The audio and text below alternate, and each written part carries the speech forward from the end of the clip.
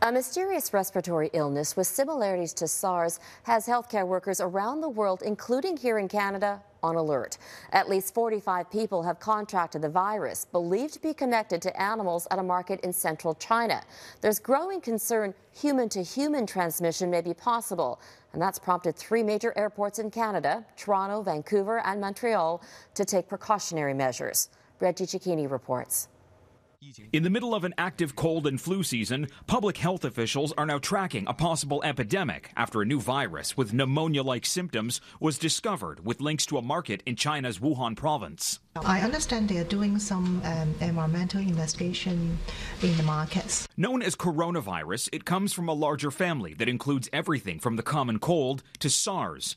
This strain wasn't detected until early January when a person was hospitalized with suspected influenza. And it's really important in this case to understand what the route of exposure was, what the actual identity of the animal is. At least three patients who had traveled from central China have been hospitalized in both Thailand and Japan. Two are not believed to have been at the market. Investigators must now determine if the illness is spreading through Wuhan, but they don't have a clear picture. This isn't a time for panic, but it is a time for people to be alert. In the meantime, the Chinese government has ordered the suspected market closed and is being given credit by the World Health Organization for its quick action. Chinese authorities also shared the complete genomic sequence with WHO and with the public.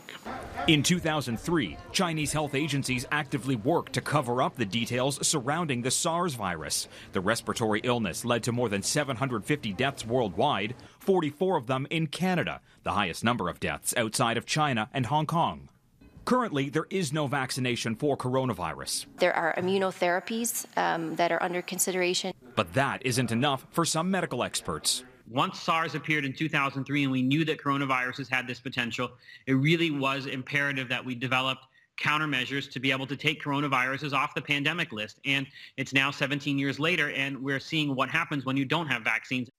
These concerns come as China prepares to welcome hundreds of thousands of visitors for Lunar New Year celebrations.